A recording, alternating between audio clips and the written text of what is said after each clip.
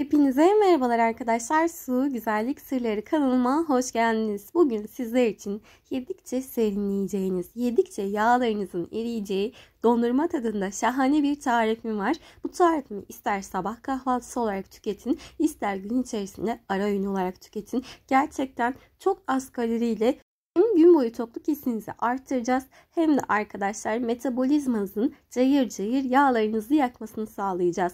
Özellikle de yaz aylarında bu tarifi kullanmayı ben çok seviyorum. Şimdi bu tarifin tüm detaylarını sizinle paylaşacağım. Sizler de diyet dönemindeyseniz, tokluk hissini bir türlü sağlayamamışsanız iştahınızı kapatmak için bu tarifi deneyebilirsiniz. Ayrıca arkadaşlar bu tarif tatlı krizlerine de gerçekten çok güzel bir çözüm oluyor. Evinizde bulunabilecek sadece birkaç kolay ve basit malzemeyle saniyeler içerisinde sizler de istediğiniz gibi dondurmanızı hazırlayabilirsiniz.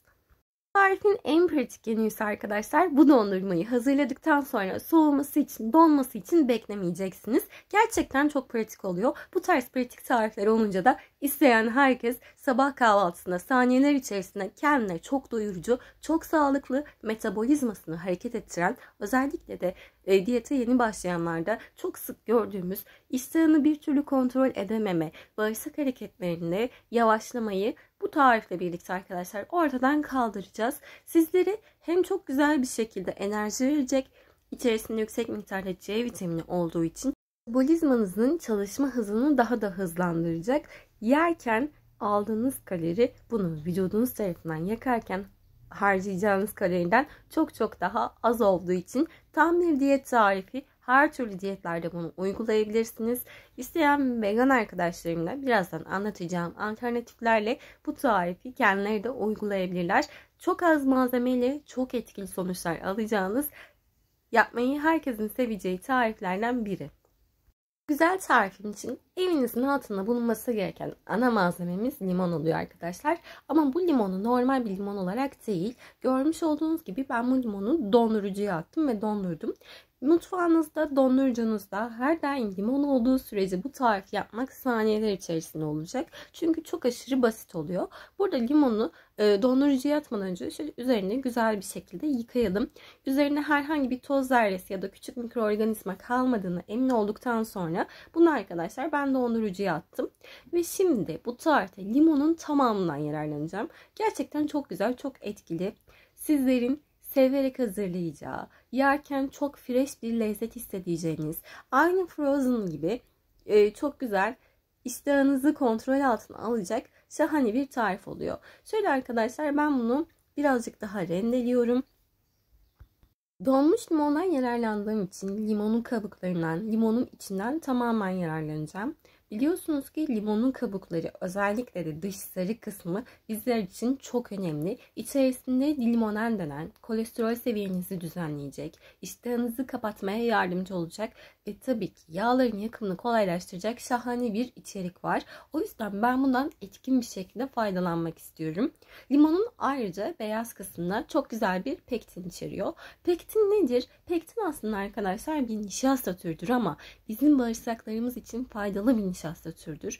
Bağırsak sağlığınız için pektin bağırsaklarda yaşayan minik mikroorganizmalara besin olacağı için sizlerin probiyotiklerinizi besleyecek diyebiliriz. Bu gerçekten çok önemli. Çünkü artık günümüzde bağırsakların bizler için ikinci beyin olduğu ve bağırsakların ne kadar güzel çalıştığı takdirde metabolizmanızdaki pek çok hastalığa çözüm olabileceği, aynı şekilde bağırsaklarda yaşanan sorunların ise vücudumuzda kronik rahatsızlık oluşturmaya ne kadar yetkin, ne kadar elverişli olduğunu bilim dünyasında kanıtladıktan sonra bağırsak sağlığınız için tüketeceğiniz besinlerin mutlaka lifli besinler besinler olmasına özen göstermenizi sizlere tavsiye ediyorum.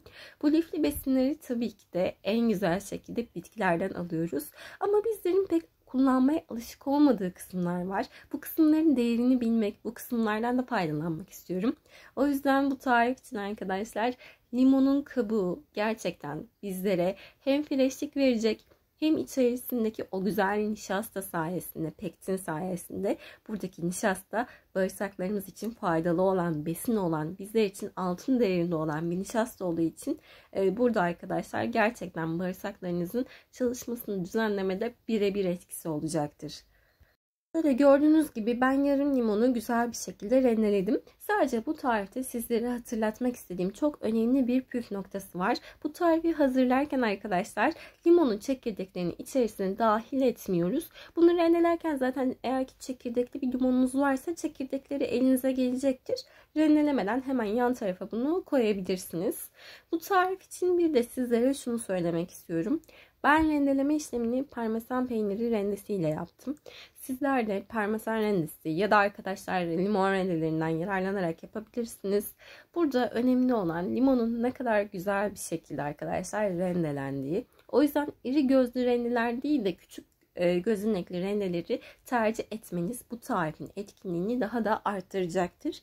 Bu tarifin e, pürüzsüz bir dokusu olmasını istiyorsanız gerçekten dondurma tadına ulaşmak istiyorsanız burada dondurmanızı oluşturacak olan limonun donmuş olması çok önemli oluyor arkadaşlar. Gördüğünüz gibi arkadaşlar sizler için sıfır şekersiz gerçekten çok lezzetli bir dondurma hazırlıyoruz. Burada e, şeker, rafine şekerle hazırlanmış olan dondurmaları yemektense kalorisi hem çok düşük olup hem metabolizması çalıştıracak bu tarifi denemek için bence sabırsızlanıyor olmanız lazım. Çünkü arkadaşlar bu tarifi denedikten sonra şöyle 3 gün deneyin Aynadaki değişime inanamıyorsunuz. Gerçekten herkes çok güzel bir şekilde kilo verdi. Şimdi fazlalıklardan kurtulma sırası sizde. Bu tarifimin bir diğer bileşeni tabii ki arkadaşlar yoğurt olacak. Bu yoğurtlarla ilgili sizlere paylaşmak istediğim çok önemli bir bilgi var. Burada e, benim kaşım gördüğünüz gibi tatlı kaşığı. 2 tepeleme tatlı kaşığı, ortalama 2 yemek kaşığı kadar yoğurttan yararlanıyorum. Ve çoğu arkadaşım soruyor işte tam yağlı mı, yarım yağlı mı, ne şekilde yoğurt kullanalım. Ee, burada arkadaşlar ben normal yoğurt kullanıyorum. Sizlere şu konuda bir bilgilendirme yapmak istiyorum. Belki bazı arkadaşlarımız fark etmemiştir.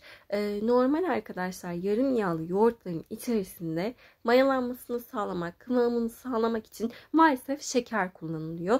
Ee, eğer ki tam yağlı yoğurt kullanıyorsanız içerisinde şeker kullanılmıyor. O yüzden ben şekerden kaçındığım için burada tam yağlı yoğurttan yararlanıyorum. 2 kaşık kadar yoğurt kullanabilirsiniz. Herhangi bir sorun olmayacaktır. Şimdi hepsini güzelce karıştırıyoruz. Anında dondurmanız hazır oluyor. Gerçekten buzluğunuzda limonunuz olduğu sürece bu tarifi hazırlamak çocuk oyuncağı. Anında hazırlayıp sabah kahvaltısı olarak da tüketebilirsiniz ya da gün içerisinde ara öğün olarak da tüketebilirsiniz. Ürün olarak tüketeceğiniz zamanlarda buradaki ölçünün yarısı kadar arkadaşlar ölçüden faydalanılabilir. Benim tarifim sizler için bugünlük bu kadardı. Umuyorum bu tarifimi beğenir. Tüm sevdiklerinizle paylaşırken aşağıya bırakmış olduğum Instagram adresinden beni takip etmeyi ihmal etmeyin. Kanalım ile yeni karşılaştıysanız kanalıma abone olabilir, bildirim çanlarını aktif hale getirebilirsiniz. Hepinize şimdiden sağlıklı günler diliyorum. Afiyet olsun. Yapımı çok kolay hem lezzeti çok özel. Mutlaka deneyin.